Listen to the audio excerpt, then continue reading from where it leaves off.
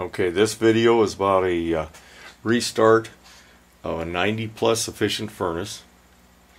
There is an inducer at the bottom right of the picture. There are pressure switches that prove that the inducer came on on the left. The burners are right here underneath this cover. This cover would normally be on in operation. I've taken it off and you can see the burners inside. To the right there will be a hot surface igniter that is going to glow a yellow color. Uh, then the burners will come on. There's a flame sensing rod on the left side that will prove that the flame came on. And the unit will be cycled on. About 30 seconds after the burners come on, the circulating fan will come on. Now you can hear the inducer come on.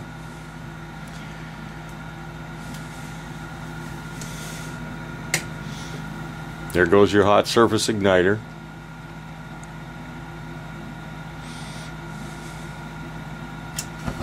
Gas valve just came on.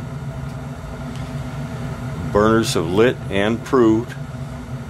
And now it's just waiting uh, the time period out for the heat exchanger to warm so that the circulating fan can come on and it will cycle normally. If for some reason we lost gas, in this case I'm just turning it off manually, the hot surface igniter comes right back on, the inducer continues to run to pull any unburned gas out of the heat exchanger, and we will attempt to relight. Okay, there's no relight, the gas valve has come on, but we did not prove flame so it shut off the igniter and it's going to do a purge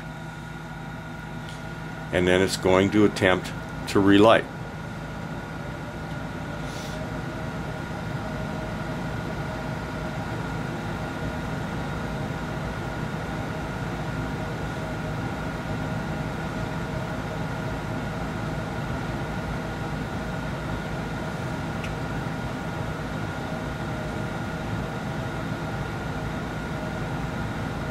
Okay, there's your hot surface igniter coming back on. It's going to try again.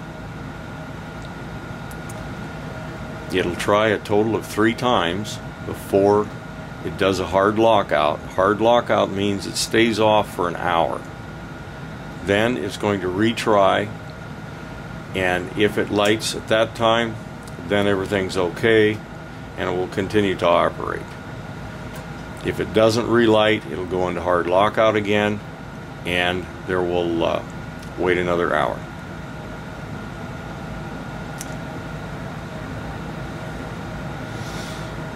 Now let's try a couple of things uh, to see what happens if I disconnect a few things. I'm going to turn the gas valve back on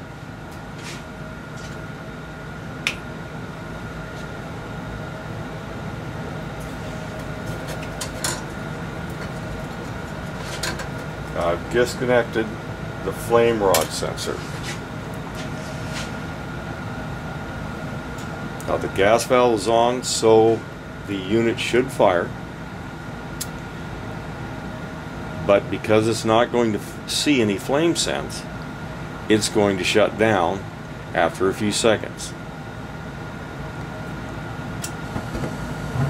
There's your burners. Okay, there was no flame sense, so the unit shuts down. Here again, it's going to try three times, and then it's going to go into hard lockout.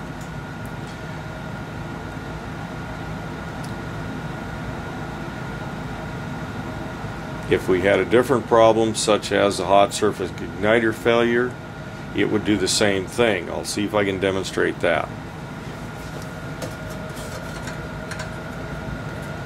Flame sensor is hooked back up.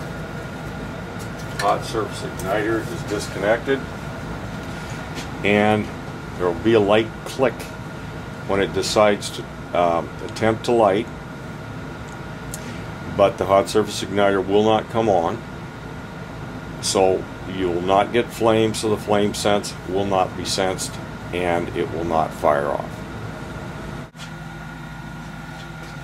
Now we're attempting to light with the hot surface igniter disconnected as you can see on the uh, right. Uh, it will not warm up. The gas valve will dump gas for a short time. Now the gas valve is letting gas in, but it's not going to light, so it shuts off. And here again, it's going to try three times, uh, and then it's going to go into hard lockout.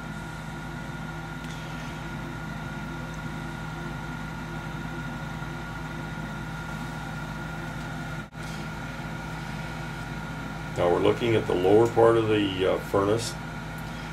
Notice the small round window about the center. That window shows me error codes on the IFC or integrated furnace control.